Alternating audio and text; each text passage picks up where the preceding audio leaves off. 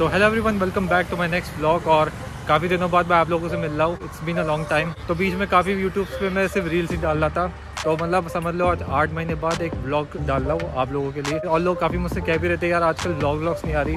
तो चलो आप लोगों के लिए एक ब्लॉग ले आया हूँ फाइनली और इस वक्त गाइस मैं आया हुआ हूँ दिल्ली। दिल्ली में मैं ज़रा से कुछ, दरअसल मैं कुछ काम से आया हुआ था। तो वो काम हो गया है। यूट्यूब में मेरा रिसेंट ब्लॉग जो था, वो दिल्ली, पुरानी दिल्ली का था। तो उसके आप भी वीडियो अगर आपने नहीं देखा हो तो आप चेक कर लीजिएगा, मैं लिंक डिस्क्रिप्शन में डाल दूँगा। बाकी मैं इस वक्त आया हुआ हूँ हॉस कास में तो आप लोगों को मैं हॉस कास विलेज का एक्सप्लोर कराने वाला हूँ पूरा टूर चलिए चलते हैं और बने रहिए। तो भाई ये जो रोड जो जा रही है, ये हॉस कास विलेज की तरफ़ जा रही है। बाकी आप साइड में आप देख सकते हो, ये पूरा पार्क है। ये डियर पार्क है बेसिकली जो हॉस कास में काफ़ी फ़ेमस है। और और दिल्ली का सबसे बड़ा पार्क है ये। Deer park Hauz Khas village से पहले ही पड़ता है। चलिए सबसे पहले आपको डियर पार्क घुमा कर लेकर आता हूँ। तो भाई हम इस वक्त हॉस कास के डियर पार्क में आए हैं। तो आप जैसे देख सकते हो, काफ़ी ग्रीनरी है यहाँ पे। और ये पार्क काफ़ी बड़ा है मतलब अराउंड फोर हंड्रेड एकर्स का है। तो ये deer park basically lungs of Delhi भी कहलाता है। यहाँ पर क्या है कि फ्रेश एयर बहुत आपको अच्छी मिलेगी, क्योंकि दिल्ली जो है, आपको पता पोल्यूशन लेवल कितना है। तो लोग ज़्यादातर यहीं पे आते हैं मतलब वॉकिंग जॉगिंग करने के लिए। और बेस्ट प्लेस है खासकर एक्सरसाइज वगैरह के लिए। तो भाई ये पार्क की टाइमिंग बेसिकली सुबह पाँच बजे से शाम के साढ़े नौ बजे तक रहता है। और मुझे सबसे अच्छी चीज़ पार्क में ये लगे कि ये फ्री है। मतलब कोई भी चार्ज नहीं है। आप कभी भी आ सकते हो फ्री ऑफ़ कॉस्ट में। तो भाई आप देख सकते हो यहाँ पे इस बड़े से फ़ील्ड में कई सारे डियर्स आपको दिख रहे होंगे और दूर दूर से।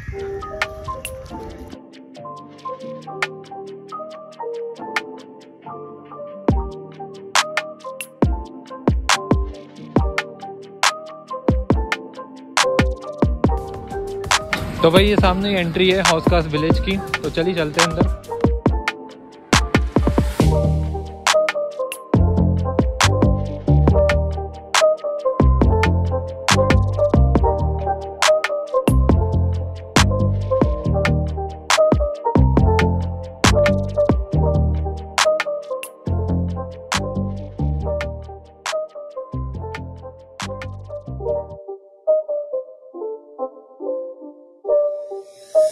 again.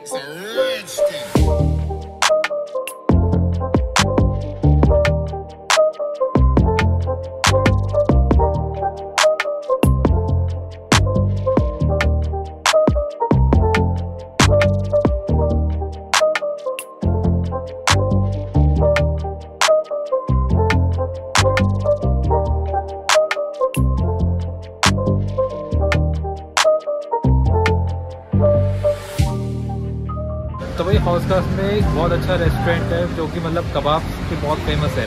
तो जिसका नाम है आपकी खातिर।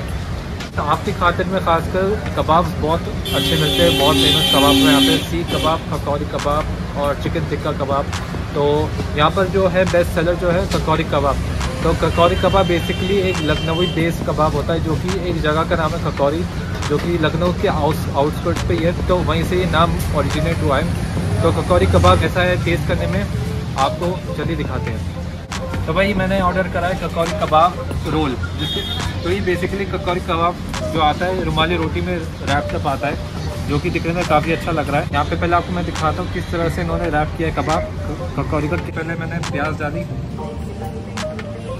थोड़ी सी प्याज डाली तो मैंने रोल किया। मैंने टिप लिया चटनी के साथ। और टेस्ट करता हूँ। अल्टीमेट ज़बरदस्त। ककौरी कबाब बेसिकली का रिफाइंड वर्जन है सीख कबाब का।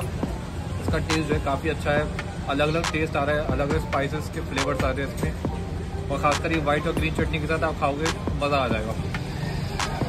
तो भाई, ये था हमारा हाउस कास्ट का एक शॉर्ट ट्रिप हाउस कास्ट में बहुत फ़ेमस है आपकी खातिर का रेस्टोरेंट तो जब भी आओ, आप विज़िट करो तो यहाँ का भी रोज़ ज़रूर ट्राई करना। बहुत ज़बरदस्त टेस्ट है यहाँ का। बाकी गाइस अगर आपको हमारी वीडियो पसंद है तो हमारे चैनल को लाइक और सब्सक्राइब ज़रूर करिएगा। कोशिश करूँगा आप लोगों के लिए ज़्यादा से ज़्यादा वीडियो ब्लॉग्स लाता रहो आपके लिए। तो तब तक के लिए गुड बाय